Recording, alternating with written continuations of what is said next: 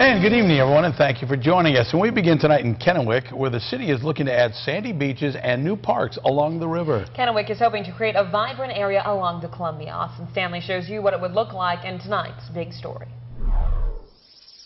Kennewick's Bridge to Bridge project hopes to transform this waterfront on Columbia Drive into a business hotspot. And now the city has unveiled some of its wish list. The first project, a sandy beach, would replace rocks found between the Blue Bridge and the Cable Bridge. Some of the elements, you know, are for public use.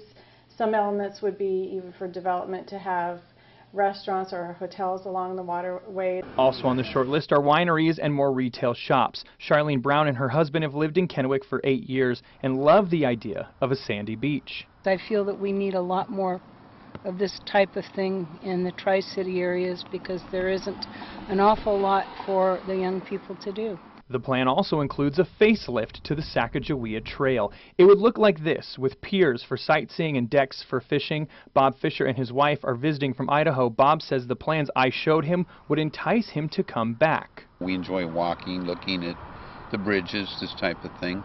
Uh, looks like you've got some walkways in the area, so this would be a great addition. But not everyone is excited. I spoke to one of the homeowners whose property backs up to the Sacagawea Trail. One said he'd likely sell his property to avoid construction. But these plans are still far in the distance. Kennewick still needs approval by city leaders and input from the public before moving on its beachfront goals.